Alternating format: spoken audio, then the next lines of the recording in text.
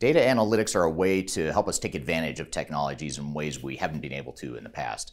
But oftentimes we get the question, what exactly is or are data analytics and how does it apply to our digital transformation? That's what I want to talk about here today.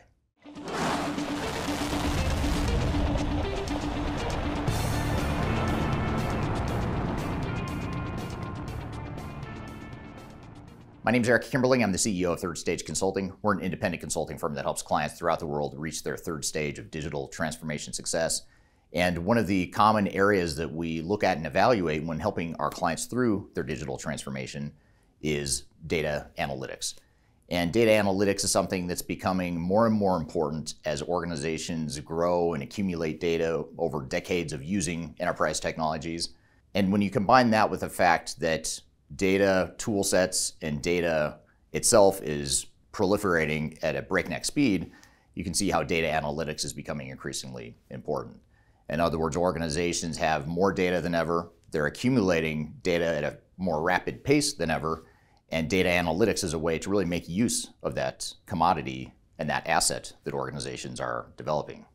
So what I want to do today is whiteboard an example of a sample organization and talk through data analytics in the context of that organization. Now, for more information about data analytics and other aspects of digital transformation, I highly encourage you to download our digital transformation report. It's a guide to best practices for implementations, there's software reviews and rankings, emerging trends and technologies that you should be aware of, a whole host of best practices that really apply to any sort of digital transformation. So I encourage you to download that via the link below.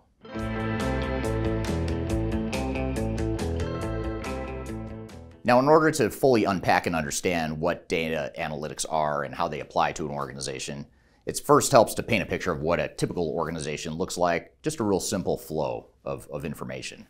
So to start, most organizations will typically have their customer. This is the uh, typically the first piece of the equation. This is the customer or stakeholder that they're trying to address or provide a product or service to.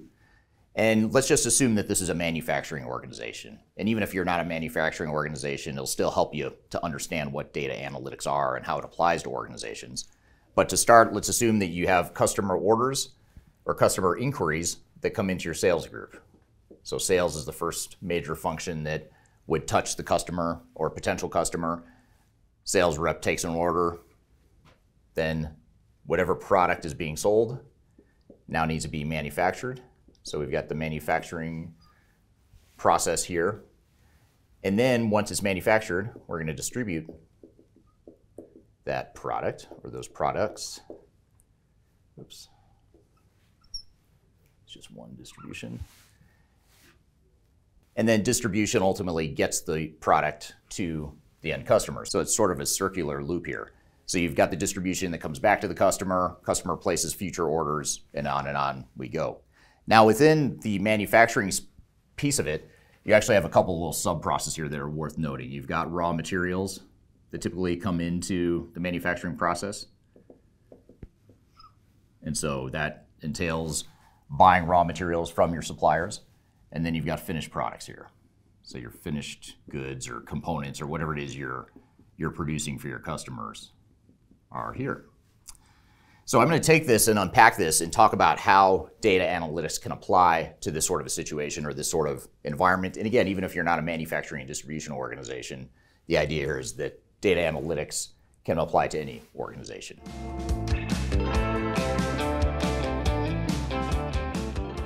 Now, when we talk about data analytics, it first helps to understand sort of the base foundation of what goes into data analytics.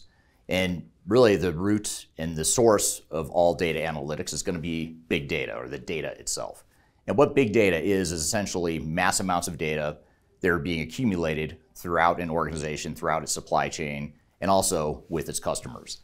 So customers are producing data in terms of inquiries that they might have with the sales team. They might be hitting a website, they might be filling out forms or expressing some sort of interest sending emails, whatever the case may be, a lot of data is coming from your customers.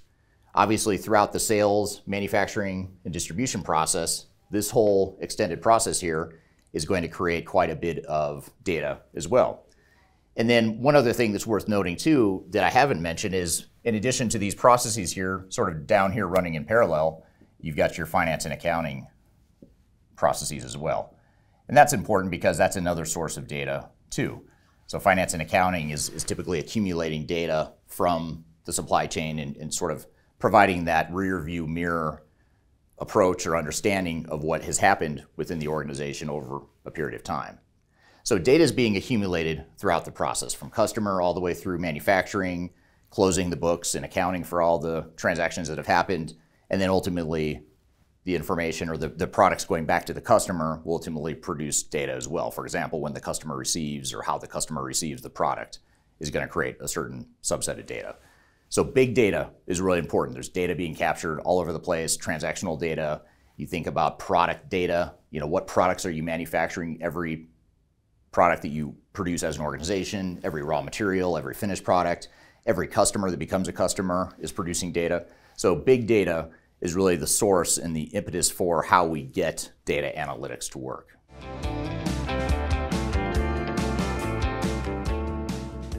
So now I want to talk through data analytics sequentially in terms of the more basic aspects of data analytics and then work our way up to the more advanced and sophisticated aspects of data analytics. The first and most fundamental, most basic component of data analytics is just your financial reporting.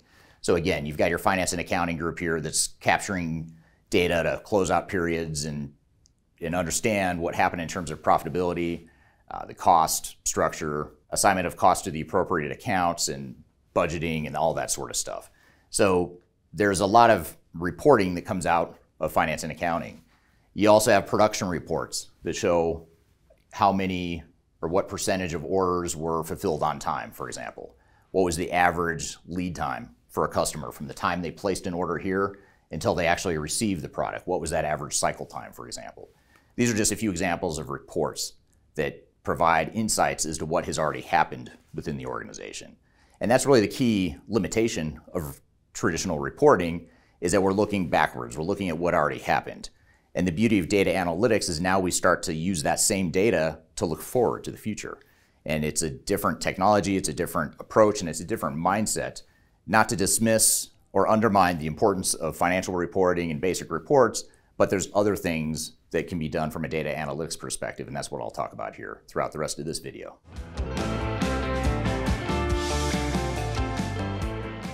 So taking reporting one step further is going to be predictive analytics. So predictive analytics is just what it sounds like. It's taking data from the past and trying to predict what will happen in the future based on historic trends.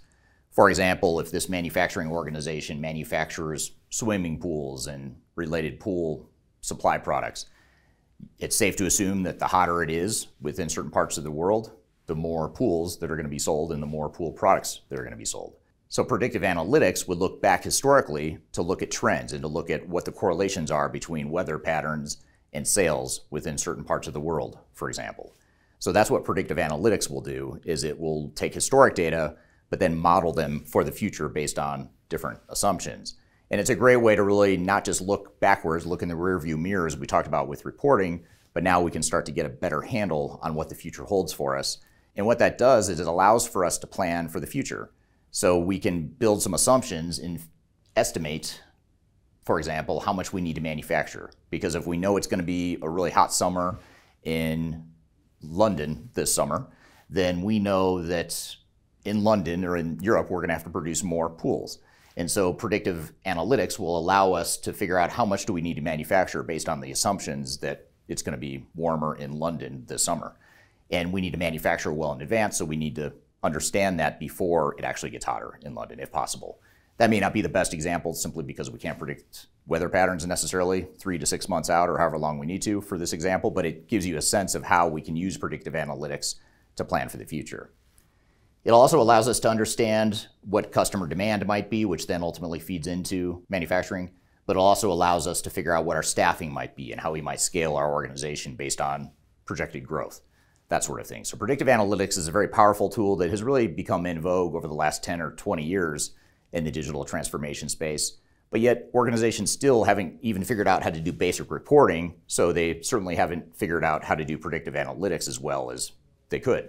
So this is an area that a lot of organizations could benefit from is by building better predictive analytics within their organization and within their digital transformation.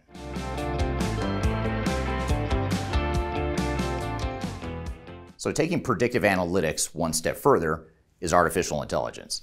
And artificial intelligence is becoming the holy grail of data analytics. This is really accumulating and making the most possible use of the data you have, not only internally within your organization, but also looking externally outside your organization, looking at your customers, looking at your suppliers. So if you have a if you're a manufacturing organization and you have raw material suppliers, if you can be capturing data from those suppliers to learn and to look for patterns and to do what humans could do if we had more time and the skills to do more of it, which is to estimate and plan what we think will happen based on all these massive amounts of data points that we have throughout our supply chain.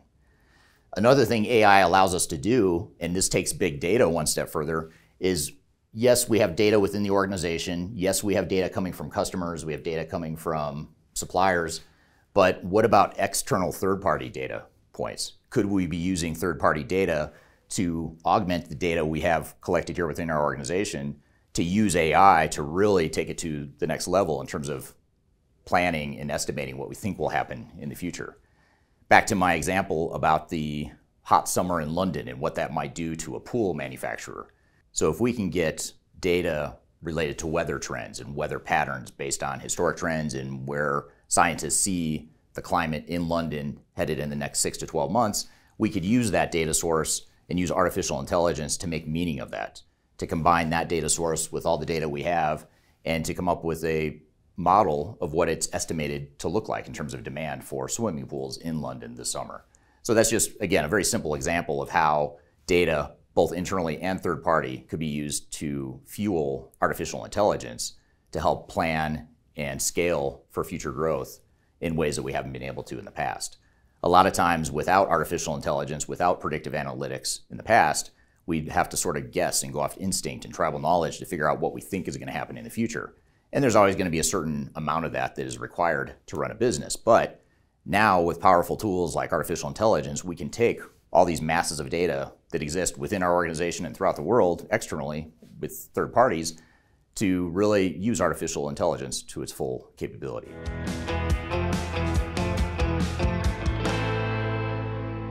So, this is all exciting stuff predictive analytics and artificial intelligence, all the stuff we've been talking about here today.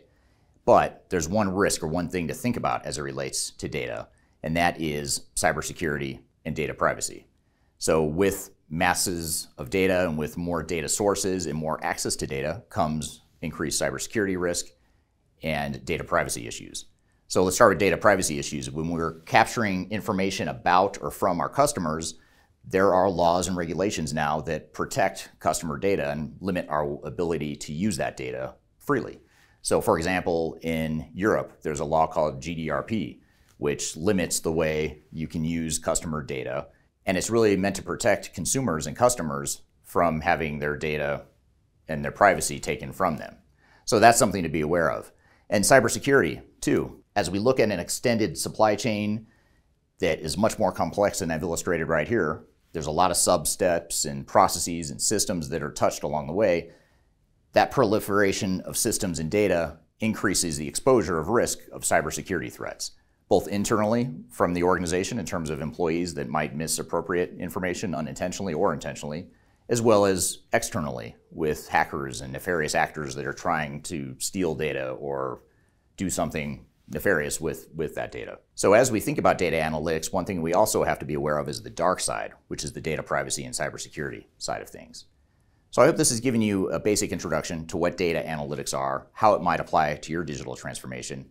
And for more information that I think will help you understand data analytics as well as other aspects of technology and digital transformation in general, I encourage you to start by downloading our digital transformation report, which outlines best practices and software reviews, software rankings, tips and lessons learned from digital transformations throughout the world, and other things that will help you through your digital transformation. I encourage you to download that via the links below. I've also included a whole host of other resources too to help you with your digital transformation. So be sure to check out those links in the description field below. So I hope you found this information useful and hope you have a great day.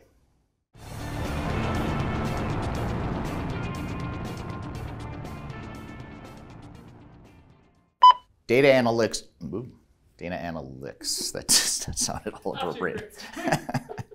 Data analytics are one of the most important. No, and you add to that the fact that more